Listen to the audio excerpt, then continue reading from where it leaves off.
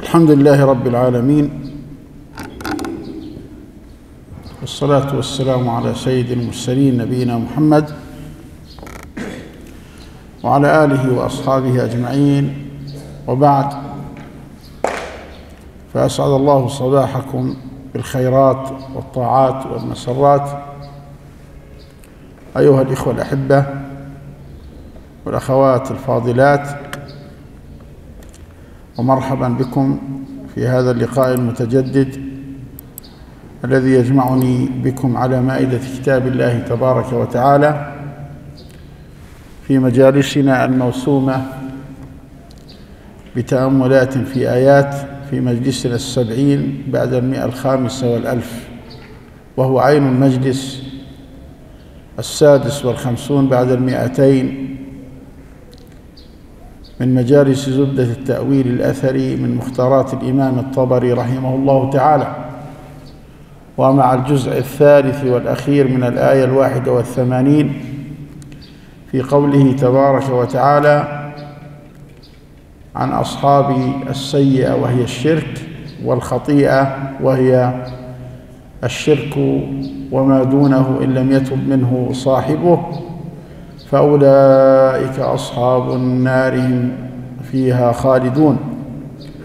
ونحن نقرأ من الجزء الثاني من نسخة جامع تأويل البيان من طبع الدار هجر من الصفحة الخامسة والثمانين بعد المئة إلى الصفحة السادسة والثمانين بعد المئة. لمن يتابعنا بالكتاب حيث قال الإمام أبو جعفر رحمه الله تعالى القول في تأويل قوله تعالى فأولئك أصحاب النار هم فيها خالدون. قال رحمه الله تعالى يعني بقوله فأولئك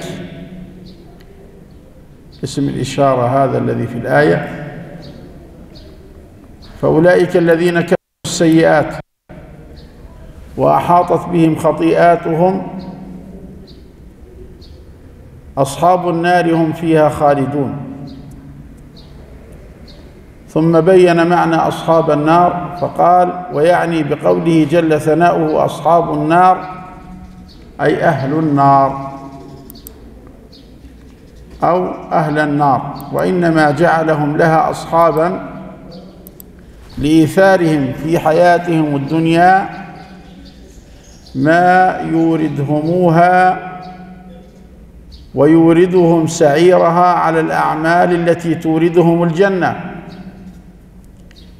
فجعلهم جل ذكره بإيثارهم أسبابها على أسباب الجنة جعلهم لها أصحابا كصاحب الرجل الذي يصاحبه مؤثرا صحبته على صحبة غيره حتى يعرف به.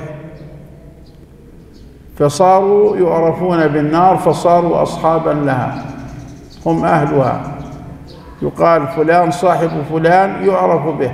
ولذلك قال القائل عن المرء لا تسل وسل. عن قرينه فإن القرين بالمقارن يقتدي.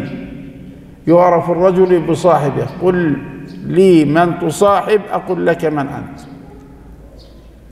فالله عز وجل وصفهم أنهم أصحاب النار. هم فيها خالدون يعني في نار خال في نار جهنم مقيمون. فالخالدون بمعنى المقيمون. المقيمون الذين لا يبغون عنها حولا لا يتحولون عنها أبدا.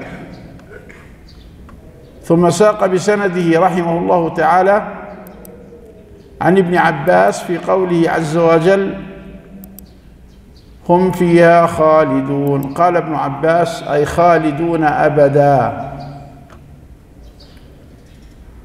ثم ساق بسنده عن السدي. في قوله عز وجل هم فيها خالدون قال لا يخرجون منها أبدا. مقيمون لا يخرجون منها أبدا.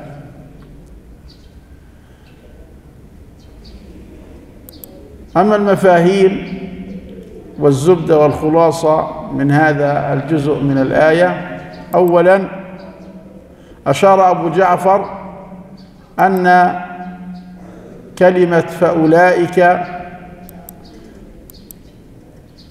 هي إشارة إلى الذين كسبوا السيئات وأحاطت بهم خطيئاتهم.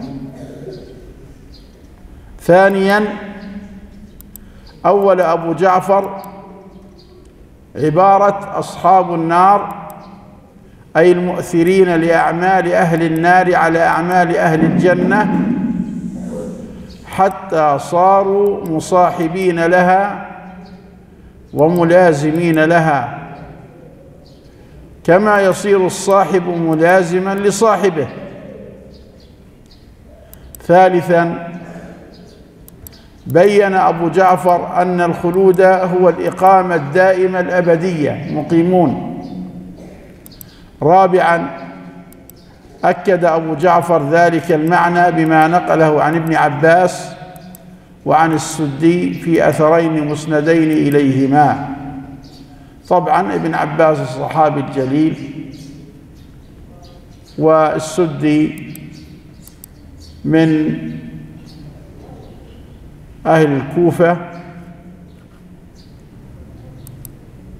من أئمة التفسير في زمنه وقد روي عنه تفسير مسند تابعه أبو جعفر رحمة الله عليه من أول المصحف إلى آخره فهو له تفسير مسند من أبي جعفر إليه. وهذا السدي ابن عباس غني عن التعريف لأننا لا ننشغل بالتعريف بالصحابة رضي الله تعالى عنهم ولكن نعرف بمن دونهم. فالسدي صاحب التفسير الذي نقل عنه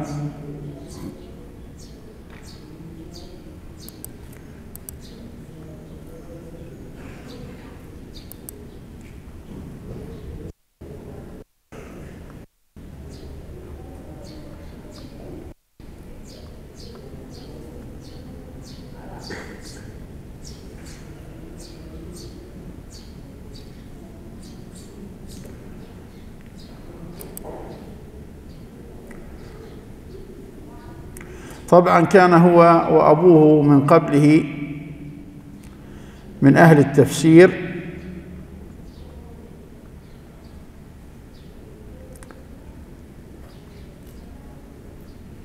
وقيل له السدي لأنه كان في سدة مسجد الكوفة الجامع. اسمه السدي هذا اسمه إسماعيل. ابن عبد الرحمن ابن أبي كريمة القرشي مولاهم السدي الأعور أبو محمد الكوفي. كان بياع في سدة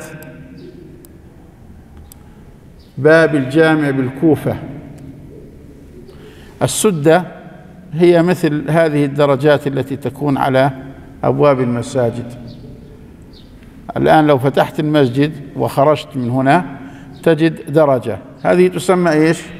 السدة. فهو كان يجلس على هذه السدة يبيع يسترزق من ذلك. ومع هذا فهو من أئمة أهل التفسير وله تفسير كامل من أول المصحف إلى آخره. فسمي السدي وهو السدي الكبير. نجد في التفسير أكثر من سدي. أبوه كان يفسر القرآن عبد الرحمن بن أبي كريمة.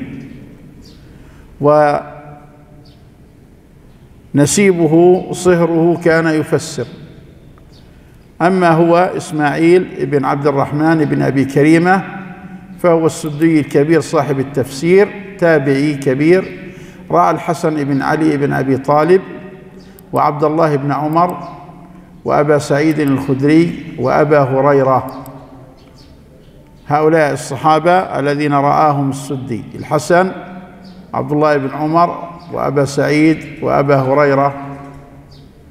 ولكن روى عن من؟ عن ابن عباس. ولم يروي عنهم عن هؤلاء الأربعة وإنما روى عن ابن عباس. وتوفي رحمه الله تعالى سنة سبع وعشرين ومائة وهو من الرابعة صدوق يهم. ورمي بالتشيع وفي التفسير لا إشكال فيه. روى له مسلم والأربعة أصحاب السنن أبو داود والترمذي والنسائي وابن ماجه. وله آلاف الآثار في تأويل آيات القرآن في التفسير وآلاف الروايات في تاريخ الأمم والملوك وفي تهذيب الإيثار للإمام الطبري. وممن يعرف بالسدي أيضا كما قلنا والده عبد الرحمن بن أبي كريمة وكان مفسرا. ونسيب السدي واسمه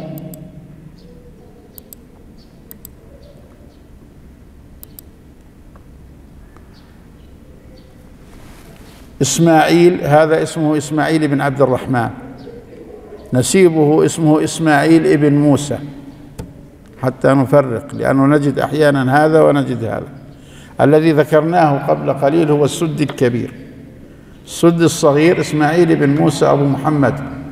ويقال أبو إسحاق الفزاري الكوفي نسيب السدي. هذا صغير شيخ الطبري المباشر يعني الطبري أخذ عنه مباشرة. أما السدي أخذ عن ابن عباس من طبقة التابعين. هذا من طبقة الصغار أتباع التابعين. شيخ الطبري توفي يوم السبت الأربع لأربع ليال خلونا من شعبان سنة خمس وأربعين ومئة. لاحظوا فإن الفرق بينهم في الوفاة حوالي اثنين وعشرين سنة. عفوا. اثنين وعشرين ومائتي ومائة سنة لأنه توفي سنة خمس وأربعين ومائتين وهو من العاشرة هذاك من الرابعة بينهم ست طبقات. صدوق يخطئ أنكروا عليه الغلو في التشيع والرفض وشتمه السلف. أما السد الكبير ما كان يعرف بشتم السلف.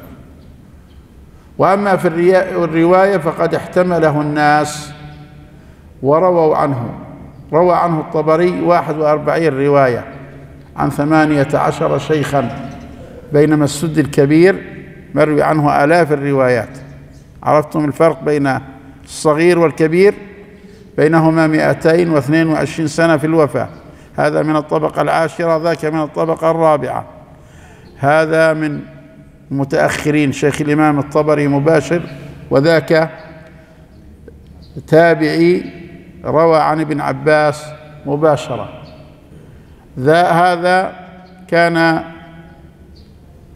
شيعي يسب السلف لكن احتملوا روايته أما الأول لم يكن كذلك. كان فيه تشيع. هناك فرق بين ما نقول كان شيعيا وبين ما نقول فيه تشيع. وهذا روى له البخاري في عمل في آه في خلق أفعال العباد. وروى له أبو داود والترمذي وابن ماجه. وروى عنه الطبري في التفسير وفي التاريخ وفي تهذيب الآثار في جزئيه القديم والحديث الذي فيه آه، مصنع طلحة وغيره. إذا بارك الله فيكم. هذا ما يتعلق بهذا الجزء الأخير من قوله عز وجل بلى من كسب سيئة وأحاطت به خطيئته فأولئك أصحاب النار هم فيها خالدون. نكمل إن شاء الله في مجلس قادم والذين آمنوا وعملوا الصالحات أولئك أصحاب الجنة هم فيها خالدون. نتعرف فيها على المعنى الذي أراده أبو جعفر وعلى بعض ما يتعلق بالرواة الذين رووا عنهم روى عنهم. حتى يحين هذا الموعد أستودعكم الله الذي لا تضيع ودائعه. سبحانك اللهم وبحمدك. نشهد أن لا إله إلا أنت نستغفرك ونتوب إليك. والسلام عليكم ورحمة الله وبركاته.